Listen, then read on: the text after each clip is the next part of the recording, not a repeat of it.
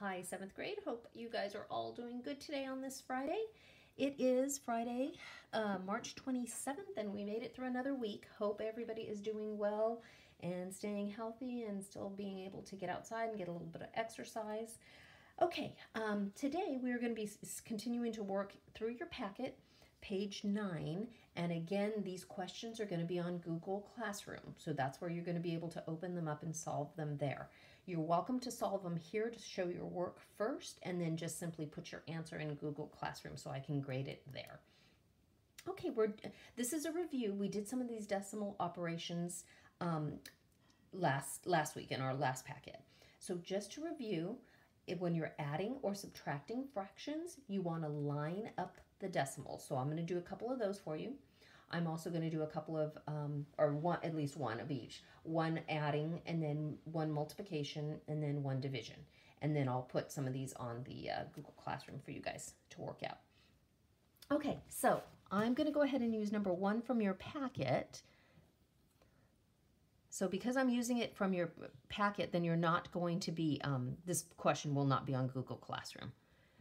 Because I'm adding, you want to reset up the problem up and down like this and line your decimals up. And then simply add. There's an imaginary zero there. You can put a zero there if you want to, but you don't have to. Uh, 2 plus 7 is 9.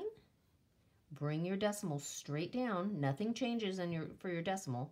5 plus 2 is 7. So this rule is for adding and subtracting. You line up the decimals. Now for multiplication, it's a little bit different. I'm going to look at uh, number 4 on your packet, 0 0.58, and I'm going to multiply that by 0 0.2. Notice I did not line up my decimals, but I did kind of try to keep my numbers in order here. Okay, we're going to do regular multiplication. Start in your ones place. 2 times 8 is 16. You need to regroup the ones or the one, which is actually in the tens place. So the one has to go up here, the six goes down here. Two times five is 10, plus one more is 11. One here and one here to make 11. Two times zero is zero, plus one is one. Now you have to figure out what to do with the decimal. Hopefully you remember this from the video and the lesson that we did last week. You need to count how many place values your decimal is from the right to the left. So I have one, two, three. So there's an imaginary decimal after every number. So because I have to move it three places up here, I have to move it three places in my answer.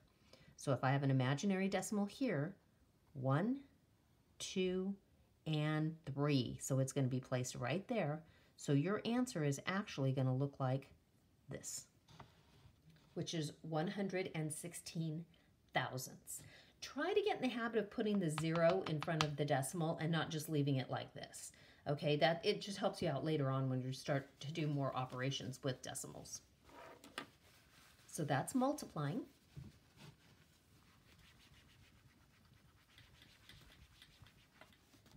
And division. Now this one can be a little trickier. I'm going to do number seven on your packet on page seven, uh, 9. So 0 0.4, 0 0.92. You cannot do division with a decimal on the outside. This is called your div divisor. You've got to move that decimal. So in order to get rid of it, I'm going to move it once to the right. If the decimal was here, I would have to move it twice to the right to get rid of it. So my new divisor is simply 4. Whatever you do to the outside, you've got to do to the inside. Because I moved the decimal once on the outside, I have to move it once on the inside. My new number for my dividend becomes 9.2 or 9 and 2 tenths. You don't even need that zero in front. So now I'm going to do what I do. You don't have to do this, but to me, right away, I get that decimal and I put it right up top. That way I know I'm not going to forget it. You put it directly above wherever it is in your dividend.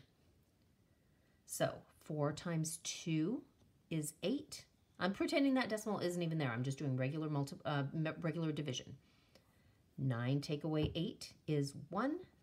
Bring down your 2.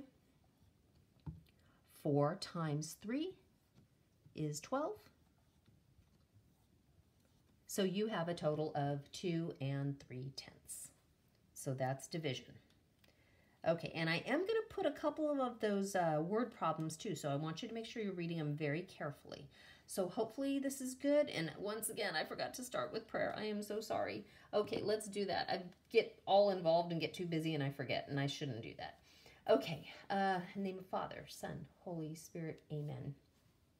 Glory be to the Father, and to the Son, and to the Holy Spirit, as it was in the beginning, is now, and ever shall be, a world without end. Amen. Father, Son, Holy Spirit. Amen. Okay, so that was a real quick video for today to wrap up our week.